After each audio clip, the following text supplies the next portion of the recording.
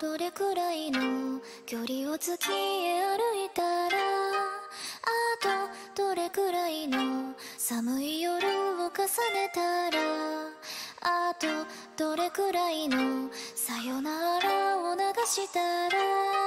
まぶたの奥の泉が枯れ果てるとか。千年後もきっと続くだろうそう思ってた空洞を溢れてしまうほどのこの気持ちはなんだ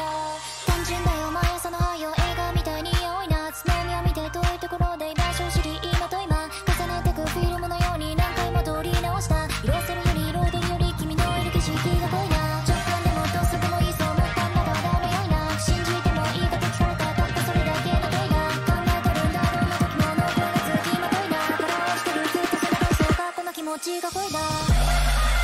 Thank you.